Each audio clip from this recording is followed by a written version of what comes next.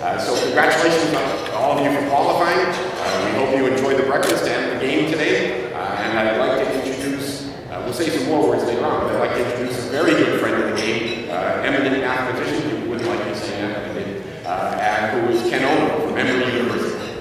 Ken. Good morning.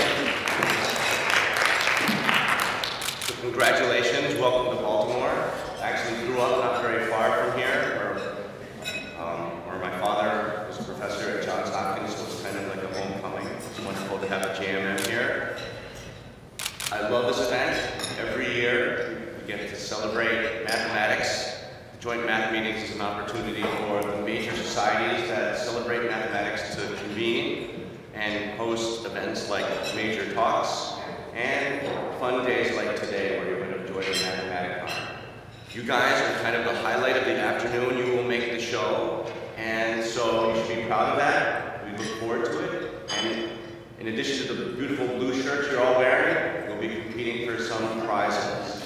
Independent of the prizes, I hope it's fun. I hope you have the opportunity to take part in the many activities that are here today. And what that begins with is this breakfast here in this room. Uh, but I do want to take a moment to, to introduce some of the very distinguished mathematicians that we've invited to mingle with you this morning. I think you probably know many of them by name, but if not, uh, I'm about to tell you who's in the room. So let me begin with Ken Ribet. He's the president of the American Math Society. He has been super busy, unlike the government, which is closed. The government and the American Math Society has been very busy at work this week. He's probably been in 30 or 40 various meetings, but he always takes the time to attend this breakfast. You may know him, he's a professor from UC Berkeley, and without him, there would still not be a proof of Fermat's last year. Sitting immediately to the, to the left of Ken is a good friend of mine, Scott Kominers.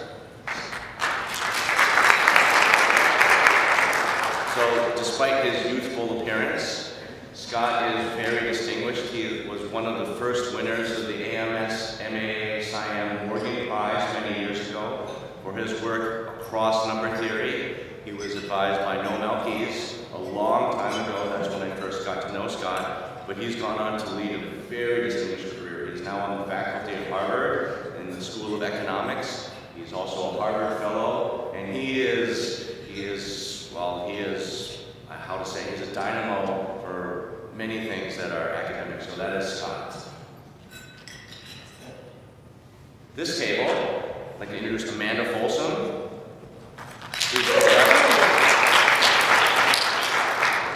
So Amanda is a professor at Amherst College. She moved to Amherst after earning tenure at Yale. She is a very distinguished number theorist, and if you had been here a few days ago, you would have had the opportunity to see her MAA invited address.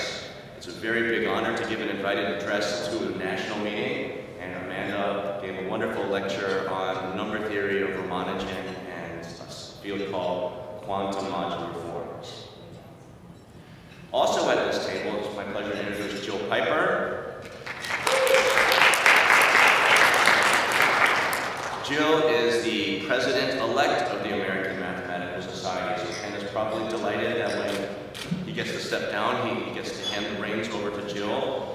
She, she's a professor at Brown University, where she wears many hats, and uh, we're delighted to have her here. Am I, am I missing anyone? Great. Well, enjoy breakfast, and in about 15 minutes time or so, 15 or 20 minutes, we'll start giving out a few prizes and, and offer some instructions for the rest of the day. So congratulations, everyone, and have some pancakes, some coffee, orange juice, and then uh, we'll return in a few minutes.